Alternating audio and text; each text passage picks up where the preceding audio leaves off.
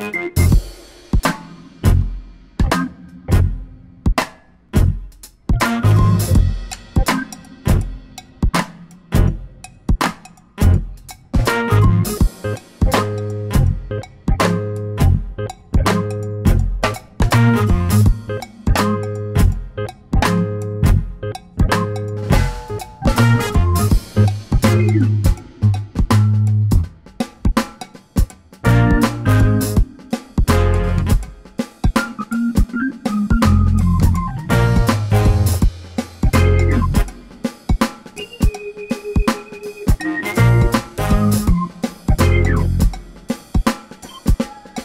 Weather turned out to be really nice today, so we decided to come back into the park to check out some things that we had to cancel the other day. We're at Delicate Arch Viewpoint and hopefully we get to see the Delicate Arch.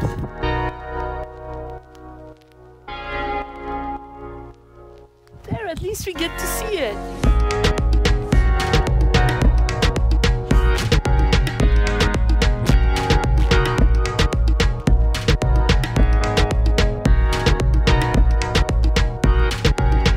Looks really cool. See that arch up there? Yeah, Pretty cool, huh? yeah. What's it look like?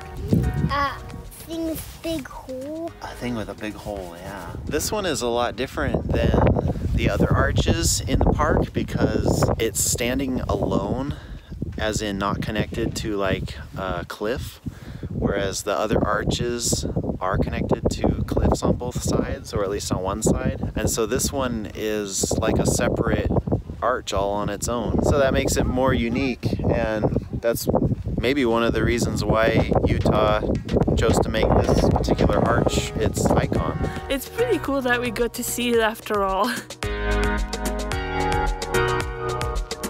We made another stop here at Wolfe Ranch. I thought it would be really cool to check it out. So there is a farmhouse, a root cellar, and a corral that are left over um, from the settlers, first settlers in this particular area in the late 1800s. I mean, imagine that would be really weird to have this as your farmland with all these arches and stuff. That would be just interesting, wouldn't it? It would.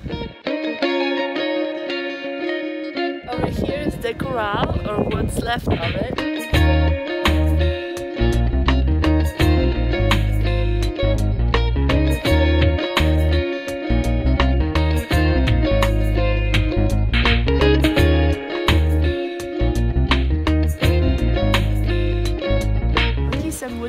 That is? I don't know. What is it? It's a root cellar. What the root cellar is for? No. Well, a long time ago, when these people lived in this house, root cellar is where they kept their food because you know what? They didn't have fridges back then. Oh. And so they couldn't put their food in the fridge to keep it cold, so they would put it in the root cellar, and that kept their food cold so it wouldn't spoil I think they want to eat hot. Their food. Yeah. I'm sure they cooked it when they brought it inside.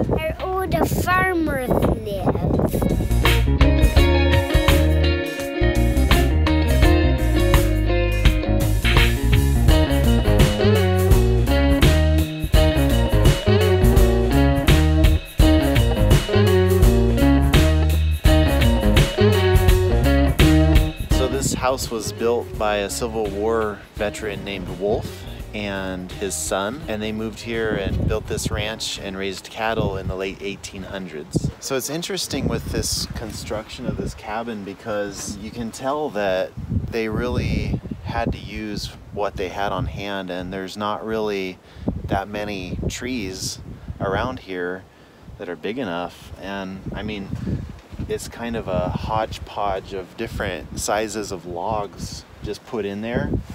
Um, like you have a log here and a little one here. It's pretty much what what you would call firewood, but it's cool to see that they accomplished what they wanted to do with what they had. And this cabin stands to testify that it's not always necessary to have everything perfect when you're building something, but if you just need to do something to get a job done, then what you have and your ability is good enough. Because all these years later, this cabin is still here. You know, it's been kept up, but it's lasted a long time. I'm glad we came back to see a couple extra things in the park before we leave for good. It was really fun. It we grabbed our opportunity except when we were entering the park the weather was just beautiful sunny and warm. And so this is a surprise when we got up here. It is just so cold and so windy. Yeah. it's crazy. But it was fun to be able to see the delicate arch even though from the distance.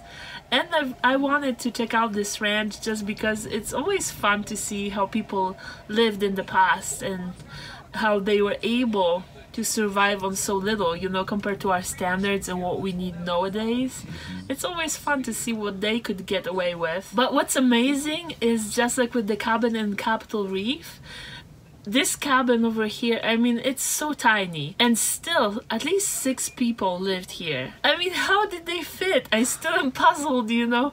It's like, I know that people back then got away with way less space, but just trying to imagine the logistics of putting six people to bed in that little space, I don't know. I mean, they had the table inside the cabin, and that table pretty much took half of the space inside. So I'm just wondering how they organized the, the bedtime. All right, well, we're going to get back to our campsite before it gets dark, and we'll see you next time. Bye. Bye. Bye-bye.